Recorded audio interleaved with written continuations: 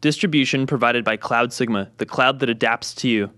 Visit cloudsigma.com slash thisweekin for a free $200 credit. Today's episode of This Week in Startups is brought to you by New Relic. Use promo code TWIST and get a free month of New Relic Pro. To redeem, visit newrelic.com slash thisweekin and see why thousands of developers worldwide don't deploy without it. And by MailChimp. Manage lists with up to 2,000 subscribers and send up to 12,000 emails per month for free with MailChimp. Hey everybody, it's Jason Calacanis, and this is This Week in Startups. Today on the program, uh, entrepreneur and now founder of AngelPad, Thomas Korte is with us. He's a um, really interesting character, lots of insights, helping build tons of companies here in San Francisco, a lot of success, and a lot to say about starting companies, funding them, and making them successful. Stick with us, it's going to be a great show.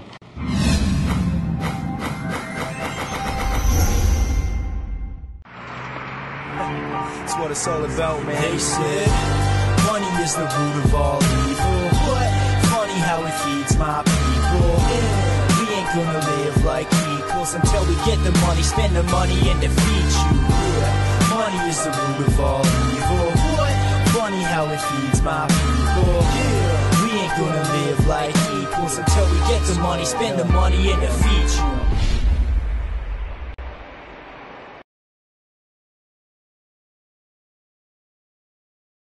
Hey, everybody, uh, welcome to the program. It's me, Jason, your friend, serial entrepreneur, angel investor, journalist, and uh, just samurai out there fighting the good fight like you guys are, trying to build companies, trying to make a dent in the universe.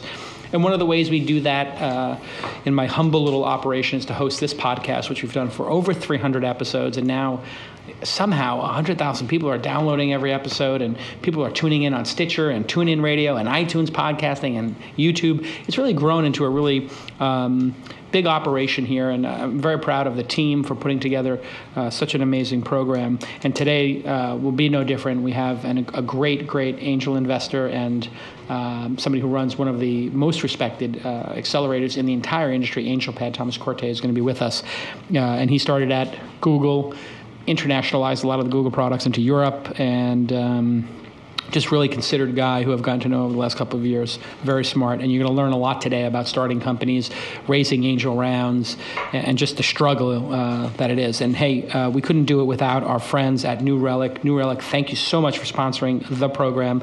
New Relic helps you monitor real-time user experiences. Here you go, taking a look here at basic uh, page load times.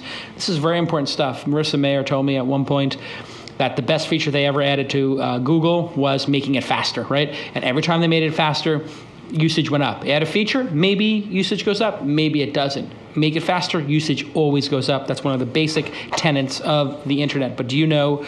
If your pages are loading fast on the browser side? Do you know if it's the network? Do you know if it's the application layer, the software that you're writing? Well, that's what New Relic helps you do. And you can follow them at New Relic. Here you go. Monitor uh, all these different uh, aspects of the speed of your site including the application layer uh, and you know how your Ruby's running, the server layer, the disk utilization, network I/O, all the important stuff. And you know it gets very granular. But the good news is they put it all in a nice summary report that I get every week. So then if I don't have to think about the stuff, right? I'm the CEO founder.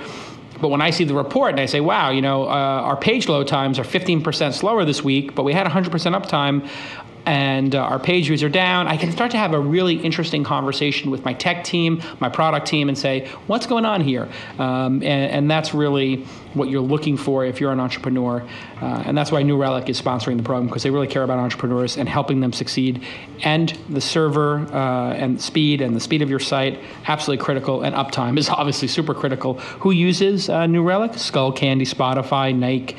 Nike, Zillow, Vonage, all these great people trust their performance of their critical apps to New Relic. And if you want to get X-ray vision into your your web apps, you should get New Relic. Go to newrelic.com slash thisweekin, and you will get one of these beautiful uh, twist t-shirts. That's right. Create a free account and get a free t-shirt. You can't buy this t-shirt. You can only get it um, at newrelic.com slash thisweekin. Fast, easy, no credit card required what an amazing uh, sponsor of the program. Thank you uh, to New Relic. And if you appreciate them sponsoring independent free media like this, just say thank you at New Relic on your Twitter account. With me on the program, Thomas Korte, uh, founder of AngelPad. Welcome. Thank you. Thanks for uh, coming. Yeah, uh, and I appreciate you hosting us here. That's fantastic, and I got to walk around with you and see all the creativity going on Yeah. here. How many startups do you have here? So we have 12 startups in here right now. We usually do twice a year, 12 startups at a time. Yeah, and uh, what do you look for in startups, and what do you provide to them? How does it work? Right. So we, we spend a lot of time looking for startups. We spend about half the year looking for startups, half the year hosting them here. So three months, three months, three months Wow. is our schedule. And uh, we, we get about 2,000 applications, so we have a very broad broad choice to, to go down to 12. Wow. Um, what we really look for, you know, it comes down to you know a, a great team that has a really unique insight into something, um, and then wants to crack a really big market and solve a real problem. Right. And we really have the gamut from you know cloud infrastructure to B2B marketplaces to consumer companies to mobile companies, every everything um, there is. And what do you provide? I mean, obviously they're getting office space, but I think mentorship is probably the key thing. Yeah. Mm-hmm. I hope so. yeah. no, we have we certainly have the office, and I think it's an important part. Um, not so much because it's free office, um, much more because you're together with other founders and us. You know, twenty four seven, not not quite, but almost. Um, you know, here for this for this period. You know, we the mentorship is really I think what it comes down to. You know, when you when you start a company, often you you have this idea, you have often a product in mind, um, and you know, often a, a problem, to, a, a product that solves a problem. But often, you know, to to make it a venture-backed large company, you don't kind of back out how big this has to be and what this really what this really means to raise a lot of money and build a large company. So we spend a lot of time on on market sizing, on on, on the problem itself, defining the problem, the initial customer set, um, and we really are here with them, you know, every every day. And entrepreneurs overlook that, I think, in a lot of cases. They do. They do very much. Um, you know, when, when you start a company, it's usually you have a problem. Hopefully, you scratch your own back, as they say. Um, It's always you know you solve the problem in a better way if you if you have the problem yourself.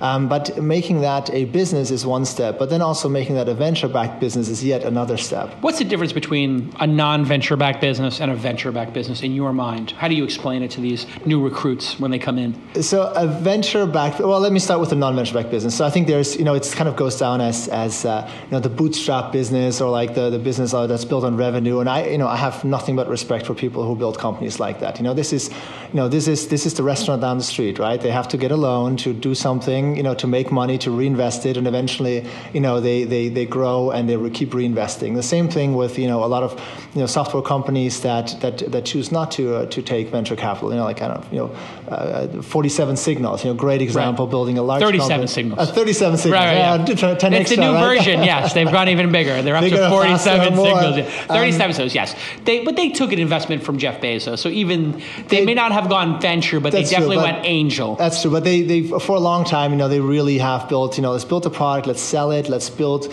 let's build the company on revenue. And I think Right. that's the big difference. You know, if, as a as a as a real business, you have to think about revenue Hmm. and how to get revenue to then grow the business. As a venture-backed business, you have to think about getting to scale, um, getting very very large, and eventually charging for that. Uh, you know, a lot more people. Um, And, and why do venture backed businesses take this approach of get to scale, then turn on revenue, as opposed to turn on revenue, grow with the revenue?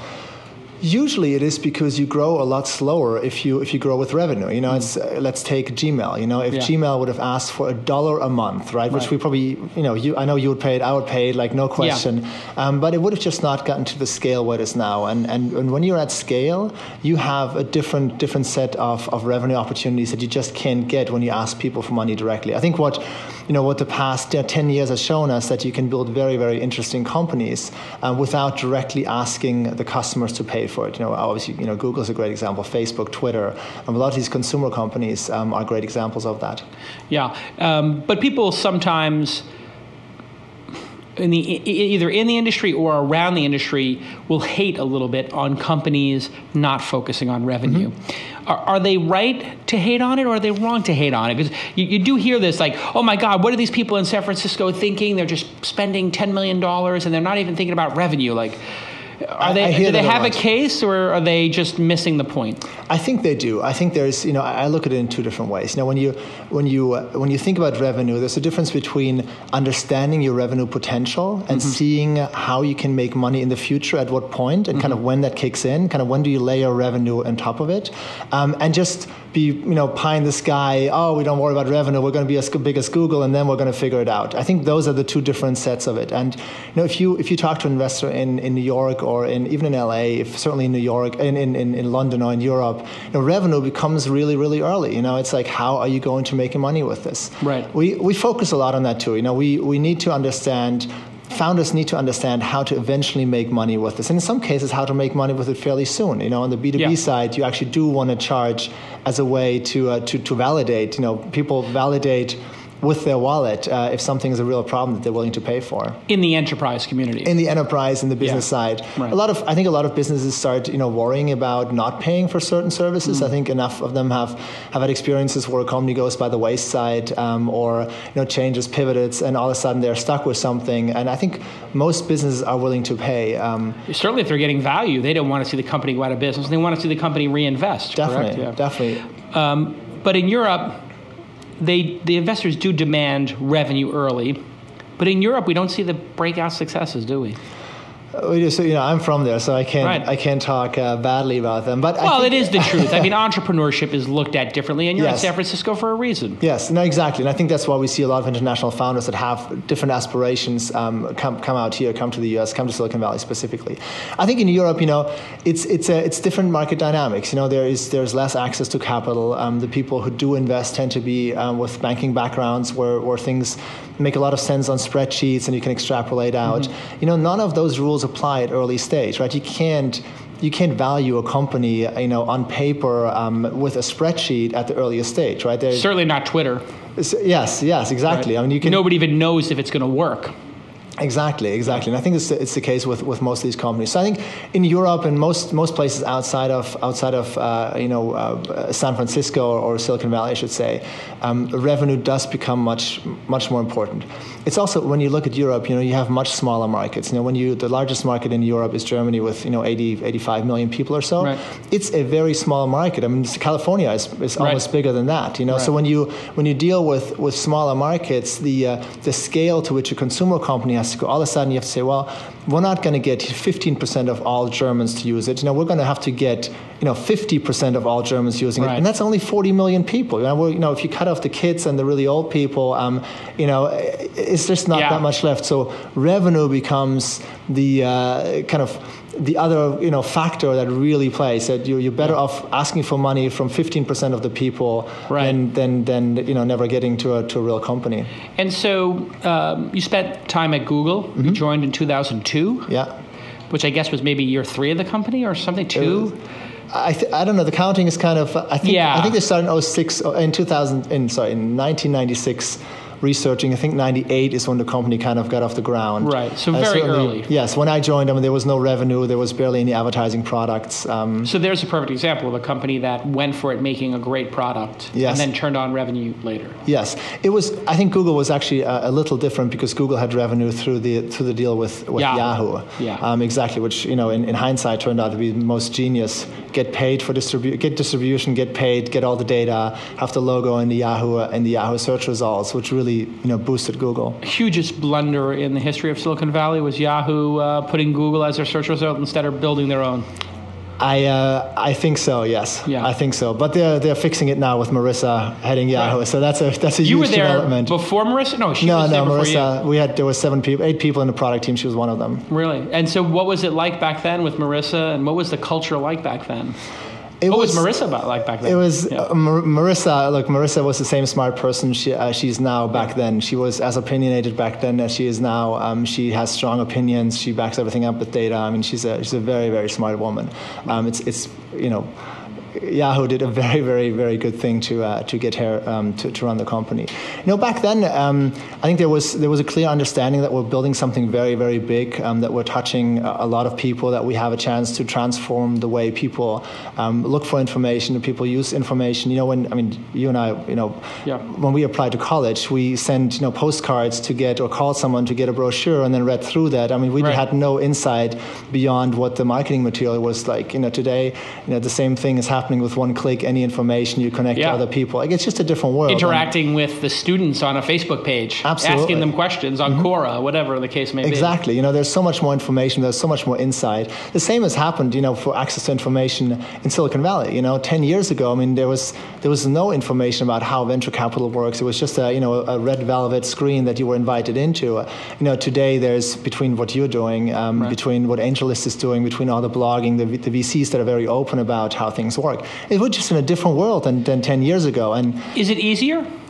It's um, for entrepreneurs. I mean, or is it a false easiness? No, I think I think it is. Well, I mean, is it easier? I think uh, what's what's easier is you need less money, right? So when sure. when I arrived in in in, uh, in, in Silicon Valley, you know, I joined a company. We raised twenty five million dollars to uh, to kind of prove a concept. Um, and you don't need that anymore today, right? So, so we can we can com- you know, scale companies at a scale that, that we do today, that that that other incubators do, uh, and really weed out or rather not weed out like you know have the have the have the uh, the cherries kind of picked out and really yeah. really accelerate you can look, test at a low dollar amount at a, at a low cost at a at a, at a, what is the at cost a fast turnaround at a fast turnaround what's too. the time and what's the amount of time it takes to you know thoroughly test you know a, a, business to know this is a good one a bad one an average one or you know? I think it's very very fast. I think it's a matter of uh, maybe six months or so. Yeah. Um, you know the and business 100000 200000 300000 if that if that. Yeah. i think most people you know if if you know I, I coach founders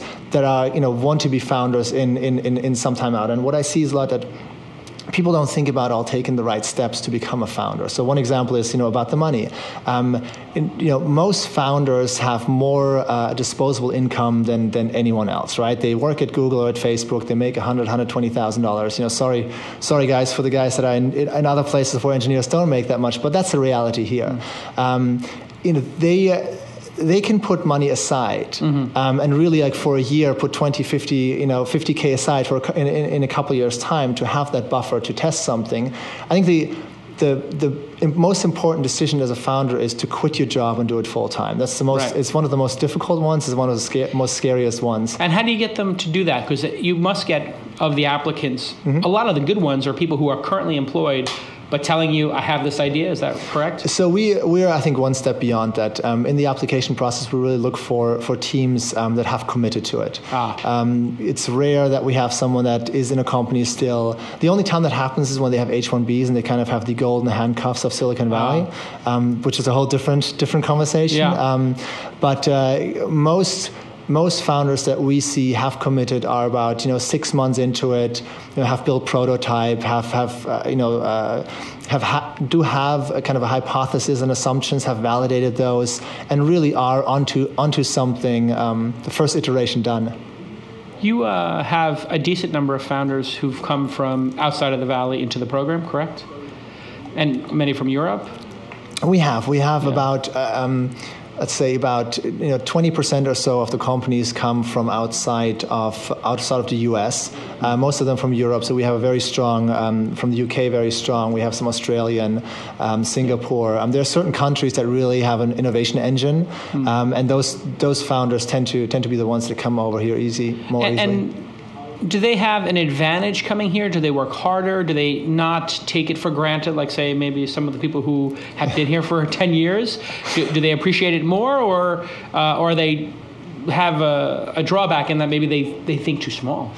I think there's a, a, fine balance between the two. I think you know I'm a, I'm a huge fan of kind of like the the immigrant entrepreneur. Entrepreneur, you know, I am. Um, I'm not saying like you know I arrived here with nothing, but but you know it's really you you you have a different you have a different background, you have a different outlook, you have a different educational system. Um, where some of the values uh, they're certainly different than the American ones, but you know a, a lot of them um, don't have that entrepreneurial spirit that the Americans have. On the other hand, a lot of them have like this you know very hardworking, very dedicated to something.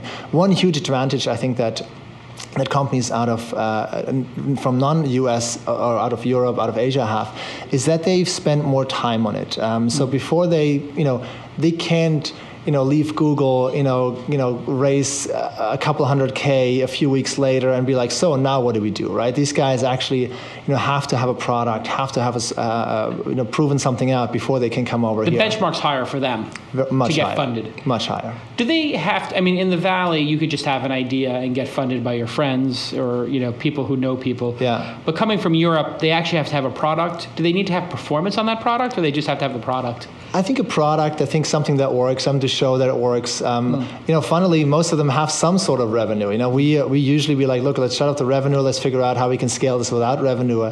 Um, and so they, they generally have, I mean, the bar is high. Look, if you come over here between, you know, the immigration visas, which we deal with all the time, it's a, it's How a big of a, I mean, you, you talked about that and we're like, that's a whole side conversation, Yeah. but sometimes the side conversations are the important ones. How, how big is the immigration problem for Silicon Valley and the United States on, on a, in a larger uh, picture? It's it's serious. It's very very serious. Why? Why? Well, one is because we, you know, we don't have enough access to engineers. Um, so as you know, any single one of these companies sitting out here is looking for engineers. Um, there's just not enough engineers in the U.S. Um, to kind of, you know, feed the beast of Silicon Valley and, and other technology companies. Um, you know, with that, we really have two immigration problems in, in, in my book. The one is the people that have H-1Bs existing on companies today and are tied to those companies, call the golden handcuffs because mm. they're always very well paid. They always work for very great great Right. companies, but they are tied to that company. And very few companies have policies where they let people leave and carry this on for even just a few months. Right. Um, it's very strict HR. You know, you're out. You have 60 days to to transfer. Um, my wife has been in that position uh, before, where she literally, you know, left the company. She had 60 days to find a new job, or would go back to France. Wow. So it, it is it is real, and this is like it doesn't matter how educated you are, it doesn't matter how wealthy or how poor you are. You know, this is a reality. So we're driving the most successful people out of our country. Amer- America is I driving would say, I mean, to get the to, most, some of the most talented people. We're talking about the top 10% of. Yes, I mean, getting an H1B in the first place, you know how hard it is, right? I mean, Right. this is this you have is to not show a unique skill. Absolutely, unique skill. You know, highly educated. You know, the people for a company to, to sponsor you, it costs quite a bit of money. So for them to Five or to, 10 grand. to come easily, easily, um, for them to uh, to sponsor you to come over here, you have to be really darn good. I mean, the bar is high to get an H1B in this country, um, and. You know, once we have them over here, I mean, they, you know, a lot of them establish their lives here, right? I mean, they, Yeah. they arrive here when they're 22 or 23. You know, they're, by the time they're they're 30, I mean, life changes in that time, right? Yeah. You know, very much. Babies, as, as you know, as I wives, right? husbands, Exactly. sure. Exactly. So, so that's really, I think, one thing that, that kind of needs to be fixed. The H-1B. Um, there is people and why in are we companies. blocking? Wh- Why is the United States doing this? Is it because we just there's so many terrorists coming out of France, clearly, and I know, mean, it's- it's- I, I say that facetiously, obviously. Right, right, right. No, I understand. I think you know immigration. You know, it's it's. I mean, you you, you follow the conversation like I do. You're active in it like I am. It makes no sense. It makes no. It's it's it's sad. It's And sad, we have Obama as president, which you know Silicon Valley lines up to pay thirty thousand dollars to have lunch with Obama. Seventy-five. Seventy-five. Not me, though. I didn't- I didn't pay him. it's you know, and listen, I, I'm I'm glad he got another four years, but how disappointing is it that Obama has not tackled immigration? I think immigration is a, is a major issue. It has to be it has to be addressed. I mean, I mean, obviously we can talk about immigration overall, but like high skilled labor immigration um, has to be has to be attacked. I, I don't think anything in Washington is a no brainer. So I think it's you know when it when it comes to policy, things just take time. The the, the, the great thing is you know, you know that's that's kind of when when I'm reminded. You know, I'm an American citizen now. You know, I became a citizen uh, you know five years, six years ago, and you you realize when you go through the political process and and you know get involved and at different ends that at least there is a process that can induce change, both through through election, through initiatives, through lobbying, whatever it is, whatever it takes. And I think some people in Silicon Valley really have stood up um, and and kind of address this. But I want to the other part of immigration Yeah. that I haven't talked about yet. So that's the one people that are already here that we kind of you know sending out. That we kick out. And we kick out, literally. Um, Yeah. Well done. The second one is, you know, coming over here, being somewhere, um, and then kind of starting, coming over here to start a company. And Right. it's it is not impossible. Like, so let's let's just put it out. Like, if you are a skilled person, it is not an impossible task to come here,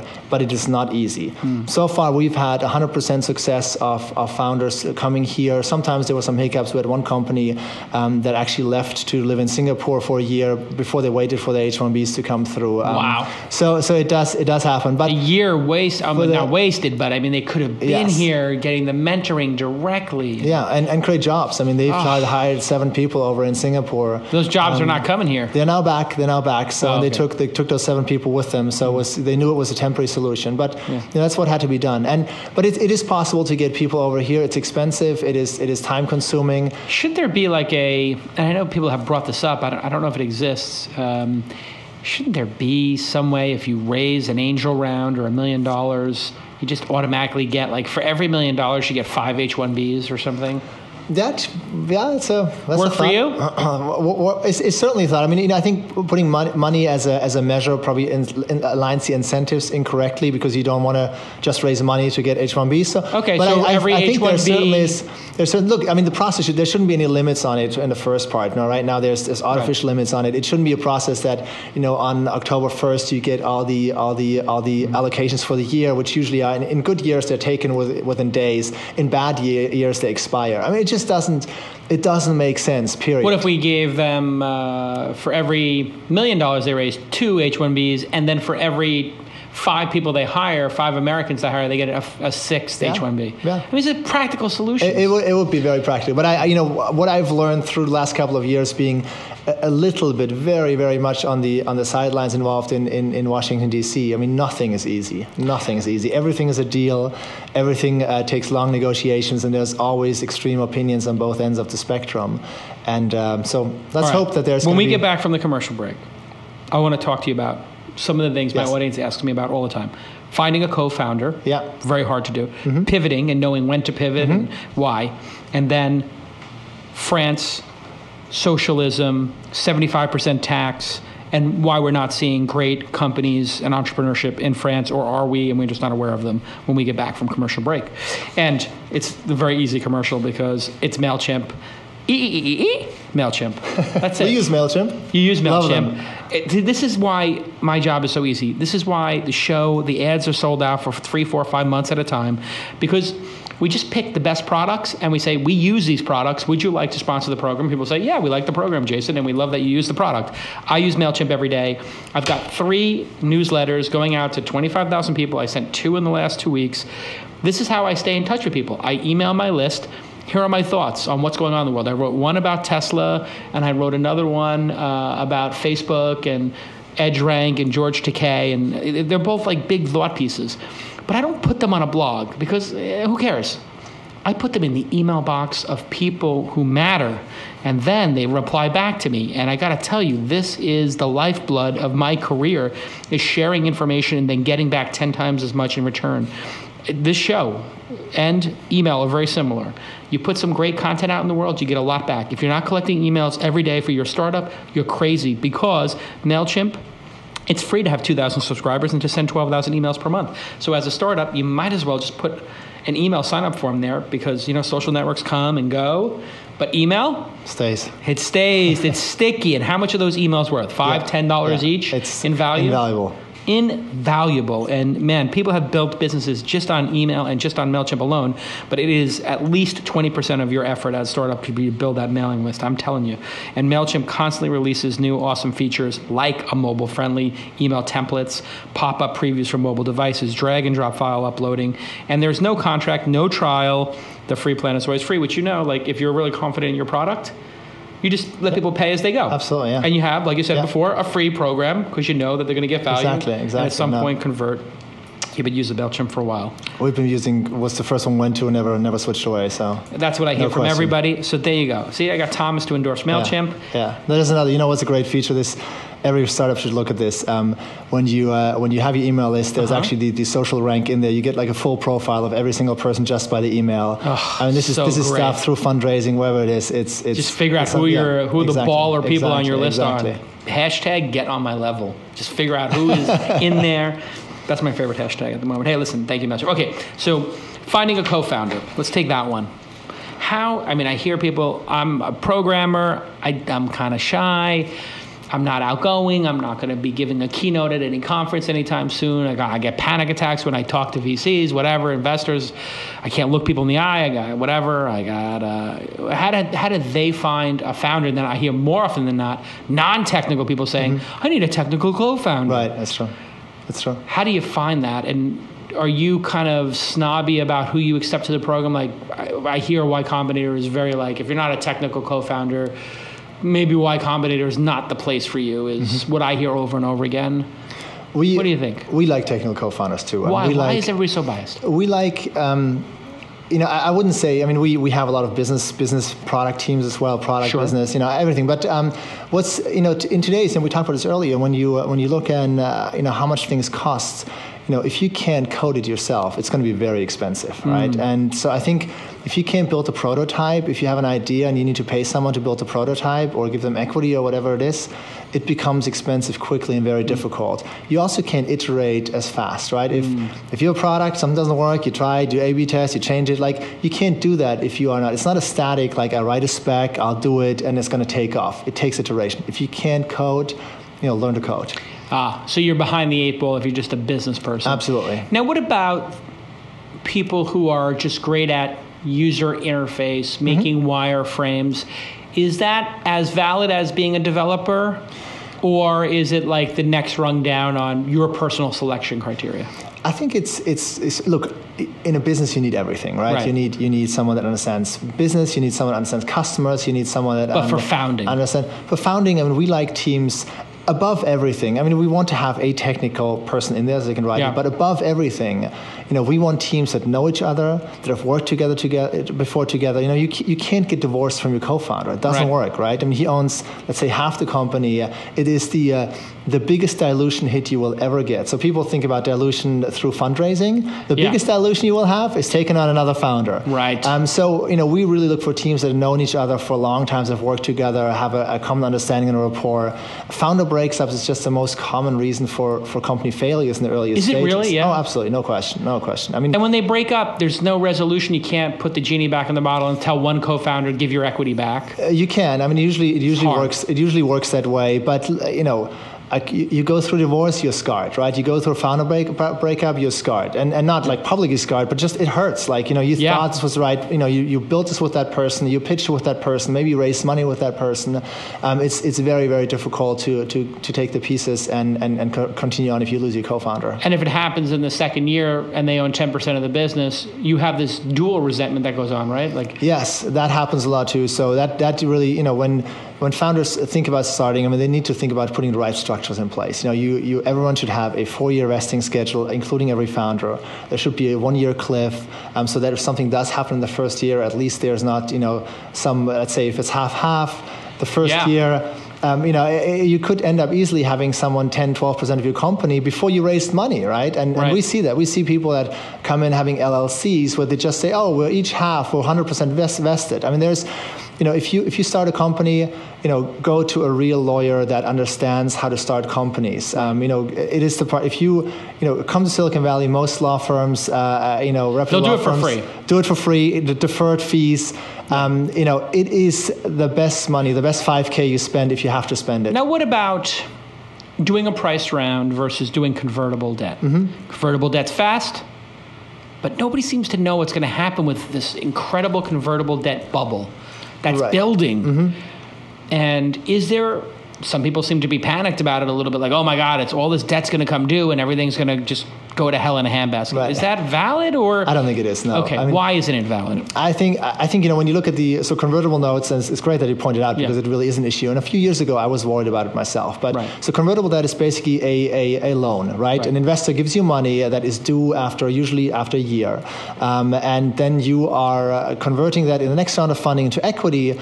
But in theory, they can ask for their money back, right? So so the fear, um, you know, through the last couple of years was, well, isn't this all walking skeletons? These companies, if if the investors call call their note, um, they're all bankrupt, right? Mm-hmm. They literally have to go into Chapter 11 by law because right. they can't you can't pay it back. Um, I think that really hasn't materialized, um, and that's kind of the importance of raising money from a skilled investor, from certainly an accredited investor, someone has done this before.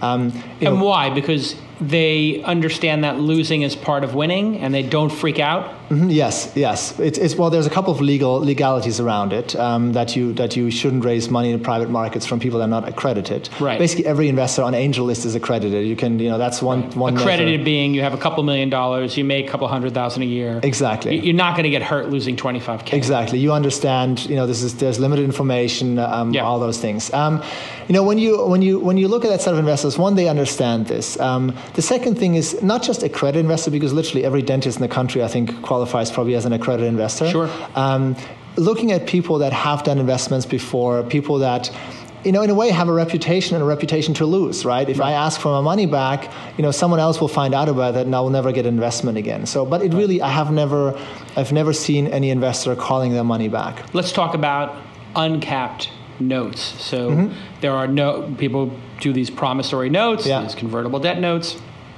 and then there's usually a cap, right? Like the converts at a certain value. Mm-hmm. But we've seen coming out of some of the accelerators, I don't know if it's in your case, uncapped notes, no discount. We do, we do. So yeah. I think it's, it's, it's a really it's an important discussion to have. Um, I think you know when you look at uncapped notes, so we we, we, we don't do uncapped notes. It's, it's something I actually see more uncapped notes outside of Silicon Valley from mm. investors that don't understand right. how this all works. They're like, oh, I get a twenty percent discount to the next round, um, and they don't ask for a cap. They don't know about the cap. You know, the cap, the, con- the notion of caps is only about three or four years old that we've been doing this year, and it's been right. taken some time that it proliferates. So explain what it is technically. Take us through a um, scenario that would be typical. Right. So if you have a, uh, if you raise money, let's say just just for, for easy math, um, you raise a million dollars mm-hmm. uh, from a, a, group of investors, and uh, it's through a convertible note. This convertible note then sets um, usually a discount, so they get a discount to the next round of funding and a cap. Um, and it says, let's say, if your next round of funding, so so if, if the valuation, let's let's just call it five million again mm-hmm. for the sake of easy math. Sure. Five million dollar cap you get one million, um, so you have a six million dollar post money valuation of your company. Right. Your company now is worth quote unquote six million, um, and and caps and valuations are almost almost the same at this point. People really do talk about them in, in yeah. very much the same terms. If you then a year down the road raise um, more money, uh, let's say um, you raise another million dollars. At this point, the company is valued at ten million dollars. So you uh, you put in extra million, or put another million, $10 million valuation is $11 million post. Um, this spread, um, the investors that invested early on will convert at 5 million. So effectively, for every 100K they put in, they get 200K in the equity in the new round. Got it. That's basically how it works. Right. Um, if the, the discount uh, really applies when uh, when you have let's say you only raise at a four and a half million, so you raise at less than uh, than what you uh, what you had the cap at, um, then they get a discount. So four and a half million minus twenty percent, they get a discount for that. So it's yeah. basically and and you know. So it's protection from somebody doing, which I think Technorati did at some point with a convertible, where they were so hot. I just heard the uh-huh. secondhand, so I don't know if it's true. Um, but Technorati had a, you know, went from a convertible note to like a thirty million dollar round, and the people who were the angel investors converted at a thirty million dollar exactly. round, yes. and they had put in twenty five k when the company was worth two million. Yes, they should have owned one percent or. That's exactly for, what it is. It's you know if you as an as an investor, you put in money in these companies, they are very risky to begin with. You know, time is a major de-risking factor, right? Mm. Over time, the company makes progress, hires engineers, um, builds IP, change, uh, challenges their assumptions, redoes it, gets customer, and the value continues to go up. Um, so if you uh, if you don't reward your earliest investors, hmm. um, something I think is wrong in the setup. So when we when, when when people talk about uncapped notes, you know, my question to them is, and that's why we we really don't do it at AngelPad. And yeah. I mean, every founder decides that for themselves, of course. But the uncapped note um, basically sends a very strong signal, in my view, to an investor um, that that you know you don't really value them their money that early on. Right. Um, you you do want to value. Kind of a slap in the face. Uh, you might not say it, but I would. I do. I don't invest in uncapped notes. It's, it's I don't. certainly. I kind of find it like, and I wouldn't do it as an entrepreneur. Yeah. You know, it just doesn't feel right. Yeah that you don't reward your early investors. They're taking the risk. I, I, agree with you, but I think it's a luxury problem to have. I think there's very few companies that can pull that off. Right. Um, and and the ones that have. What about the crazy? I mean, I think some of the people coming out of the last Y Combinator class, $15 million caps. I think that's actually more dangerous almost than an uncapped note, right? Why? Why is that? Why well, an uncapped note, there's just no expectation. We're just saying, yeah. look, it's not capped. Like right. we don't know what the value is. Uh, you're getting a discount for sure, right? If you if you say you have a 15 million dollar um, you know cap. Um, you really are saying, look, this is what we think the value is today. I think mm. that's everyone's understanding, right? It's, yeah. Technically, it's not that, but under everyone's understanding. Now, if you look at the A round, um, you know, investors expect a 2x, 2.5, really 3x would be nice. So if you cap at 15 million, yeah, well, your A round's going to be 30, 45 30, million. 30, 45 million Good dollars, luck. right? And, and that's that's hard to achieve. And now you have to look at now you got to have 10 million you need. How much so money did you raise? $5 million. In, exactly. Yeah. So, so how much money, you know, if you, if you have a $15 million cap and you raise $5 million, look, at least you have $5 million worth of time right. to back into the next valuation of 35 or 40 years, million dollars. Two or three right? years. So I think, you know, there is, there is, it all depends like the valuation all depends how much money you raise um, how much runway you have to your next to your next round and really what your expectation is is. there a bubble now? I mean we saw color raise essentially an a and a b round at once forty yeah. million dollars. But bill very smart guy we had him on the program. Color seemed like a really good idea some good patent and ip from what i understand proximity based social networking god it sounded like such a great idea it never really got executed. But i mean people point to that as saying like that's the moment things got out of control What's the state right now? Is it out of control? It's not out of control. No, I think why? I think why? things have become uh, much more normal. I think as as more as more founders understand the implications of notes, mm-hmm. as we've gone through kind of one generation of founders that have raised at high notes, um, now going to the A round, seeing where they're at. I think you know things have become uh, things have become fairly normal again. Um, I think if anything, you see valuations slightly have come really down a little bit. Yeah. Um, and it's you know it's, it's probably okay. You know you. Uh, you, uh, you know, with higher valuation comes more money that companies raise, and more money doesn't uh, automatically equate to more success um, or success faster. Why? Well, if you uh, if you raise, you know, I, I, think of a seed round kind of like as like a chewing gum, right? Look, if you raise 300k, you make it work for 12 months, 18 months, right? If you raise three million, guess what? You're going to make it work for for the same amount of time, right? If you yeah. raise a lot of money, you you hire faster. Um, you you you often what I see is you just kind of disregard some of the early signs of something not working because you don't have to worry about your next round as fast. So you're just much more aggressive in spending, much more aggressive in hiring. You're going to get your office focused earlier. on the data. And, and like. exactly, you, you just, you know, with money comes problems. I mean, they're good problems to have, but um, if not really yeah. managed well, and you know, you want you want founders to be, uh, you know scrappy and resourceful and and kind of you know make it happen have this urgency like this you know when I look at founders and and the ones that that really stand out from the pack it's the ones that have the urgency the ones that, that can't stop moving in their in their chair and be like look I'm already thinking next thing while you're talking right and right. and and and those are the founders that just Fidgety. run faster yeah. exactly you know if you Driven it's it, this is a marathon. Starting a company is a marathon, but every day is a single sprint, right? right? Wow. And the ones that get up every single day and sprint and don't, you know, rest on Saturday and Sundays, and the ones that don't say, "Look, let's have a down day," they're going to end up ahead because you know if you if you do ten percent more every single day, add that up in 18 months. Yeah. You, know, you are it's you are months difference. and months and months ahead of the others. And there's no secret. It's right? compounding it's, interest too. It's, exa- exactly, precisely. It's it's yeah. hard work every day. It's it's focus. It's uh, it's it's passion and it's it's drive. You know, and and never stop. I mean, that's what it All comes right. down to building. We talked about co-founders. We talked about convertibles. We talked about the angel bubble. Let's talk a little bit about pivoting and knowing when to pivot and when to persevere. How does a founder know that they've hit a roadblock that they can't get through? Or they've hit a door that they need to open. How do you know that? I mean, how do you, when people, they must come to you all the time. Thomas, you know, you're our mentor here. You, you, you brought us into this, you know, incredible space to be mentored. Is this a brick wall that we're not getting through, or is it a doorway and we need to kick the door open? How do you, how do you assess that?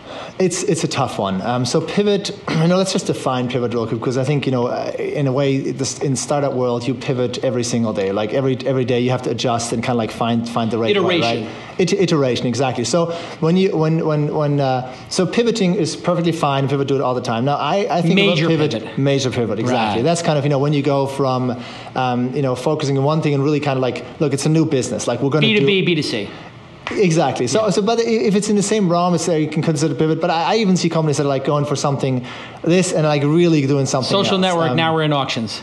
Precise. Yeah, yeah, exactly. That's a good one. Yeah. and I think you know you have um, there are two realities. Um, one is you know you uh, you you're onto something that just doesn't happen, right? It's like, look, we've tried, we've iterated, we have done, I don't know, da- let's call it daily deals, okay? Everyone is like, you know, totally down on daily deals. You know, there was an early, early spike, you know, everyone thought this is like the next, next, uh, Amazon, know, Amazon, Google, whatever. eBay, and, yeah. and, and, you know, we've seen it doesn't work, right? The, uh, the long-term value of those customers is just not there. And, you know, the recent, the recent filings from, from, from Groupon kind of, you know, puts that on black and white. So yeah. that, that vertical is done, right? right? If you think you can innovate in that vertical, which is the other problem, right? You, you cannot swim against the stream for four years straight, right? Eventually, you're just getting tired out. And this is literally, you know, a bird flying into the wind or flying with the wind. Um, right. You know, you just need, or, or an airplane, you need less fuel flying with the wind.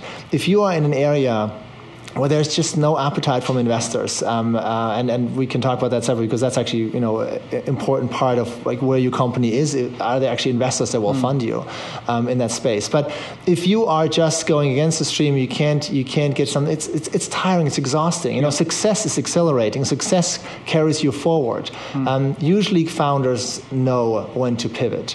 Um, when they come to me, um, it's often it's just like, look, I think we're going to do this, and and I say like, I think you're right. You know, I think yeah. it's time. Um, so they know. I mean, it's you can only fly into the wind for so long before you're so exhausted.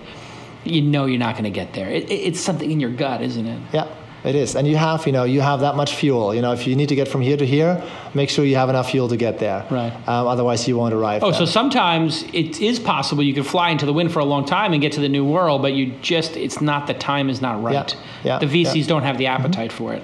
So maybe there is something with daily deals that could be done eventually. Absolutely. But the investors right now are just not going to. I'll give you a few example right yeah, now. That's how you'll forget. You know, daily deals, anything remotely uh, related to that. Most investors don't have a big appetite for it. I think there are some smart investors that see a huge. There is something we know that, right? I mean, you don't build a Groupon and a and and, living, and a living so, social and like a bunch of other companies. Gilt. Google Google would be on it. Yelp. Like they're smart people on yeah. this problem, right? So we know there is something.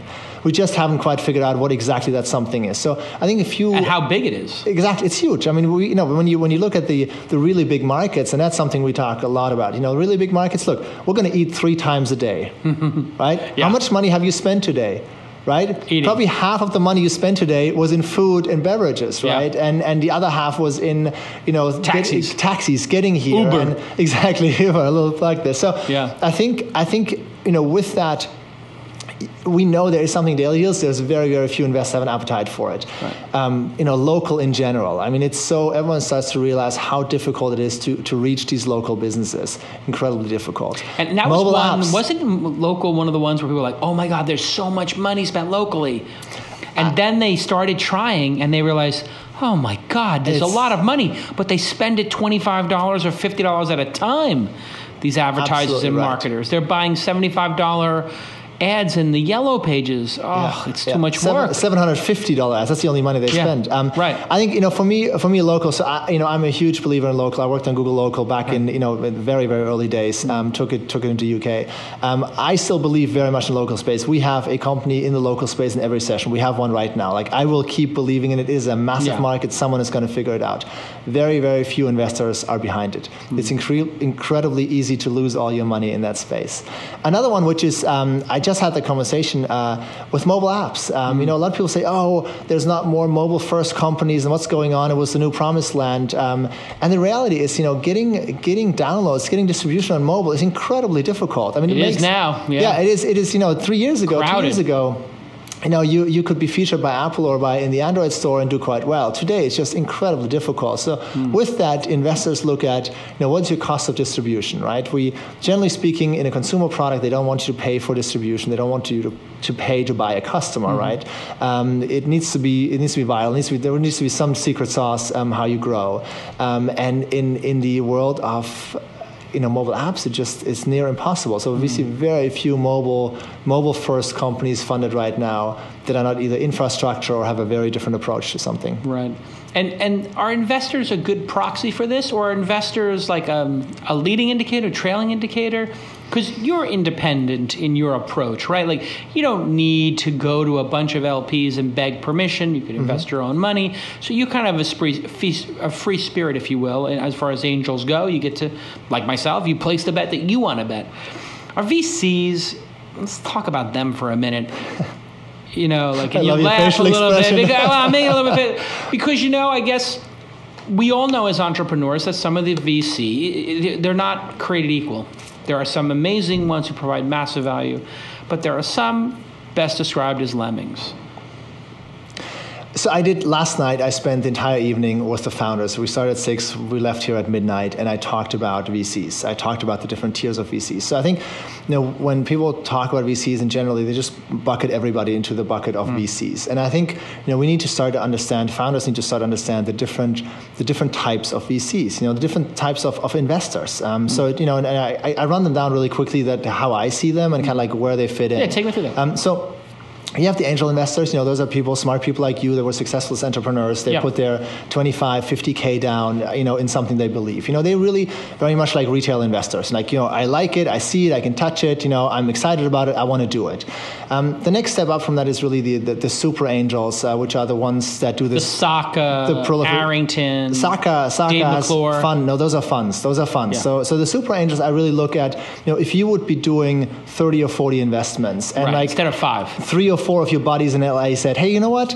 I'm going to give you a couple hundred K too. Let's, I'll pull this together. Yeah. We have a few million dollars or so. Like this is still like a very, very much mm. the, uh, the friends approach. Exactly. I look at this as angels. You know, then you have the micro VCs the micro VCs is really, I think it's one of the best things that can happen for, or could have happened, has happened for Silicon Dave Valley. McClure, um, Dave Mike McClure. Um, uh, Mike Arrington. You have, you have, uh, you know, Pivot North. You know, a lot of them are, are don't have a huge brand. 20, you know? 30, 40 million dollars. Um, small, yeah, smaller amounts. Um, these guys often come from the traditional firms, mostly a, a, a, a, single LP, and the dynamics in those firms are very different. You know, the, the decision process is very different.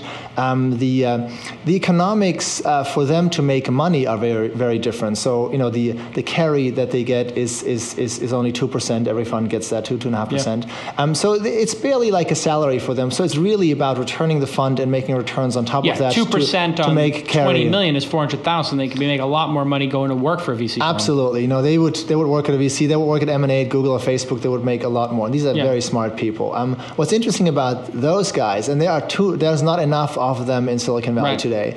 Um, they really spend time with the companies. You know they spend time in the way that I spend at the seed stage, at the very earliest stage. They take them from the seed stage really to the A. They understand this. They understand mm-hmm. taking something that you can't value on paper to the point where the where the where the, the larger VCs can like Sherpas. They just they, they yes. escort them yes. from this, and they're great. I mean, they yeah. really understand. They've done this before. There's a process to it. You know, as, as boring as it is, there's a process to fundraising to building a company. You know, from there you really have the uh, the uh, the uh, kind of you know, smaller funds. So those are the Blumbergs true. of the world, true, uh, you know, hundred million dollar first round, exactly. Yeah those are those are great. You know, they're great in a in a in a, in a seed round if they are a major investor in your company, and the, the smart yeah. ones really become you know the trues and the first rounds become major investors early on. Um, they have a lot of support system. Usually, there's multiple multiple um, partners. You know, there's yep. admins. There's sometimes other resources you can tap into, and from there you have you know this this category that I call the the product market fit VC. So those are VCs mm. that you go to once you have product market fit and you have something that is very clearly defined, and you basically start you start getting to the point where you need to figure out how we're going to make money with this, how we're going to hire salespeople, how we're going to, mm. you know, hmm. how we're going to open offices in, in, in, in one or two countries. You know, those, leveling up. This is like a whole different level. Those exactly, exactly. And those guys are really there's some. You know, these are the early investors.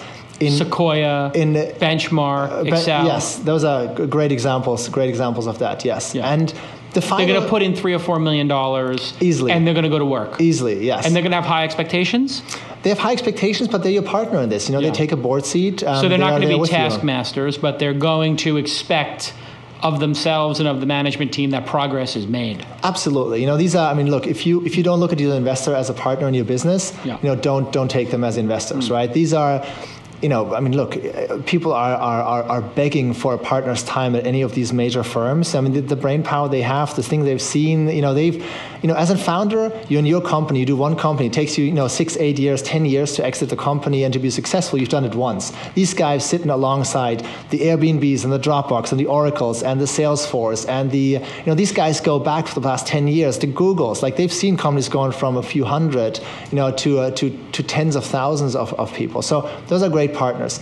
And the final, the final session, the final one is really like the, uh, almost a financial institution. It's the growth investor. Those are the people that put $10 million in, um, and it's really just look, there's a small fire here, let's pour oil on it, let's make it a really big fire. Um, and when we talk about VCs, we just lump them all together. So right. I think we don't do them justice at which stage they're the right people for. You know, it's and it's impossible to tell if you're a first-time entrepreneur. How would you ever know? It is. You're just yes. reading blogs and seeing tweets. You don't really know. Yeah exactly. And we have, you know, a lot of founders say, oh, you know, we're excited. We, you know, I don't know, XYZ is coming in, Chris Sacca is coming in. It's like, yeah. well, Chris Sacca has 80 plus investments and, and is a busy guy, right? You know, when you, when you look at someone, you know, being with you, and he's very upfront about it, right? Um, someone that actually takes you from here to the next step, you need someone that makes, you know, eight or 10 investments a year, you know, puts in six, seven, eight hundred thousand dollars, you know, really is, is there for you. Um, right. So, so, you know, we just need to start looking at these, these different tiers of investors. They're all great at their right level. Yeah. If you take the wrong the wrong investor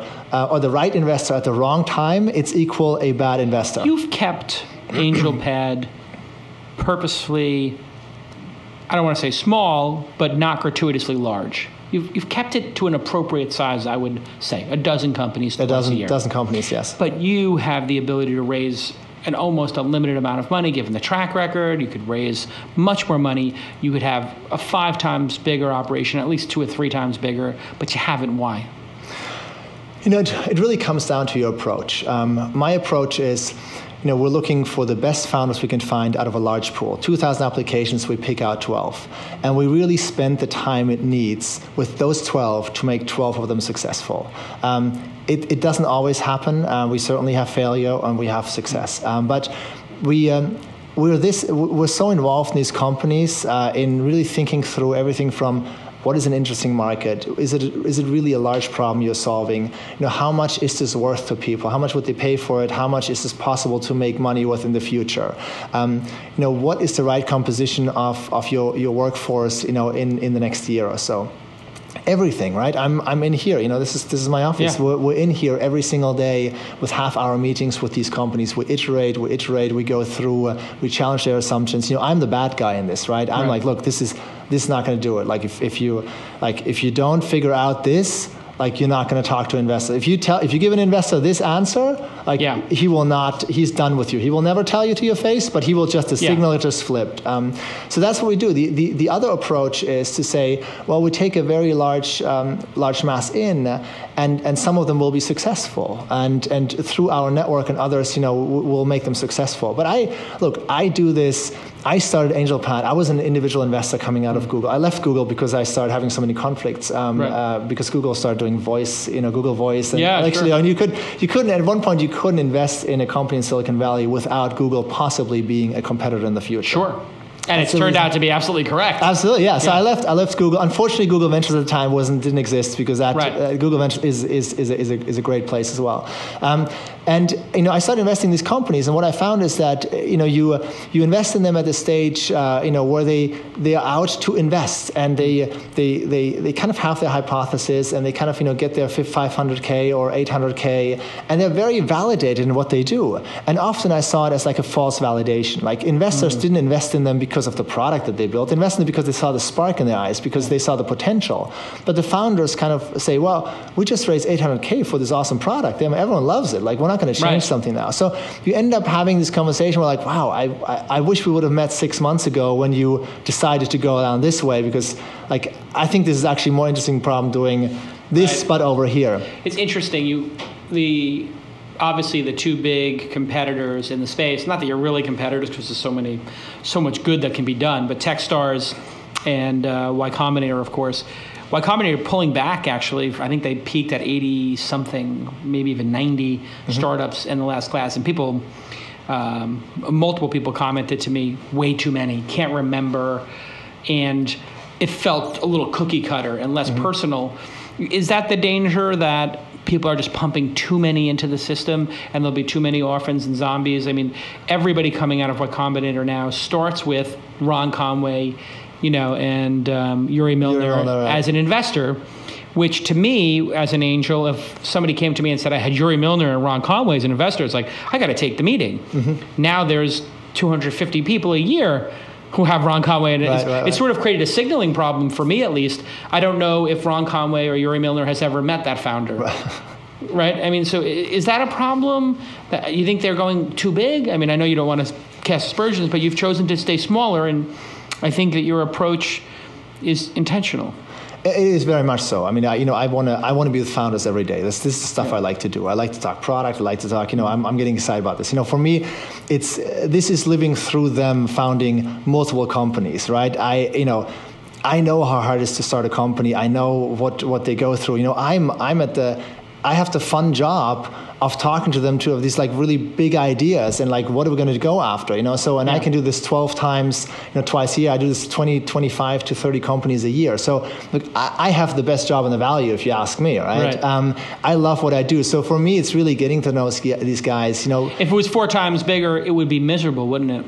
It would be it would be intense. I, I don't I, look it would be miserable. we come on if you couldn't, even remember the founders names. That's true i, I mean think it. about it. If you had to do four times as many? Yeah. I, I, I certainly couldn't do it the way i want to do it, um, I couldn't do it. I yeah. think you know you know, if there's, I, I don't have a lot of sympathy for investors that say, oh, I can't remember the 80 companies that went through through Y Combinator. Look, it's an investor's job to listen up and go through. Yeah. You already have the luxury of sitting there and getting them in one in one three hour meeting. It is one kind of it, right. Yeah. It's as, as hard as it is, but that's your job as, as an investor to go through that. So I, I think to and to filter through that. You know, for uh, for me, I've always said, you know, I I want to be in a position where if an investor calls me and says, look, I'm looking at these three companies or I'm looking at this one company you know, what are they good at? What do they need help with? Where do you think it's going to go? And I can, you know, truly, honestly tell them because I know I've been there. I've been through the journey. I know why they picked this. I know the founder dynamics.